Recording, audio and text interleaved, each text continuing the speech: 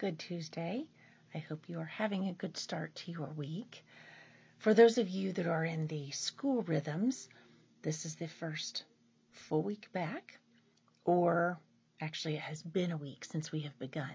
So I don't know about any of you, but now that we've been in this new routine for one week, full exhaustion hit my household last night. Complete and utter whew, meltdown occurred. Now, just because it's a, a, a, child going back to school that had a meltdown doesn't mean that we don't all do it. Because I admit I have my own personal meltdowns still as an adult. I get exhausted, I get frustrated, I feel defeated, I feel not enough, and then I just get down for a bit. And then I get over it. And I realize I can I can have my own sadness, but I can't wallow in it. I have to move on. And so last night as the tears began to flow and and I was asking, you know, what is going on and why are you sad and finally the truth came out. Now, as a mom, my initial underlying thought is, you're tired. But from their version, they're so concerned because in band they have to have a song memorized by the time the homecoming parade happens, and they're just not certain they can do it. And how in the world are we supposed to march that whole way without having any music in front of us? Then we go on. The sport that we're in, we so the daughter I'm referring to is a catcher. Okay, so at practice, she, you know, I she said I just didn't I didn't do well. I didn't catch enough balls. I let balls go by me. Okay, so how many balls went by you? Okay, how many balls were actually pitched toward you? So really, in all perspective, you didn't let that many balls go by. But in her mind, she was failing her team. She was failing her pitcher. Okay, then she goes on to proceed that she's so scared because she wrote down what her math teacher had on the board and did her homework. And then other friends said that they had a different set of problems. And oh my gosh, what if we wrote it down wrong? You know, we've all been there. Things just get spun out of perspective.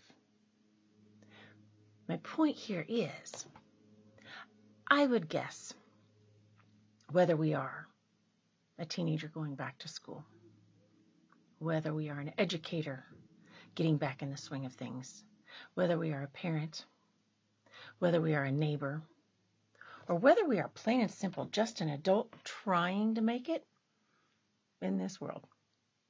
We all have our moments where we feel insufficient, where we feel not enough. We're failing everyone, letting God down letting our friends down, letting ourselves down, because we have such high expectations. And then we all have to step back and remember were you honest about what you were doing? Did you give it your best effort? Did you try wholeheartedly to do what was right? And if you're answering those with yes, there's nothing more you can expect from yourself. We can try. We can hold high expectations. We can think that we need to do more. Reality is, we're human. God knew we were going to fail. But that's okay. That's how we learn. That's how we grow. That's how we get better. Fact is, we're all so very hard on ourselves. We have such high expectations that oftentimes it just isn't even reasonable. And the hard part about that is I can say this till I'm blue in the face to all of you. I'm one of the world's worst. I will give anyone forgiveness. I will remind them, you've been overwhelmed. You've been busy. You've endured a lot. Wow, you gave great effort. But I forget to remind myself that. So my hope for you today is I'm going to share a little bit of it's it's just a little um, quote from a book a year of positive thinking. This one says, proving yourself to everyone is futile. You are your greatest advocate, and the validation that you need most is your own. You are strong enough and good enough, exactly as you are in this moment. You are good enough to choose whatever you choose to do, even if others are well intentioned with their advice. Only you know what is best. Stay true to your choices. Trust your strength, the strength that God has given you. Find happiness in what suits you. People are trying their hardest to impress other people. And typically, those that you're trying to impress are not people that really matter anyway. The ones who deserve your respect and attention are the ones who see you as you are and love you anyway. God has made you wonderfully, beautifully made. Remember that.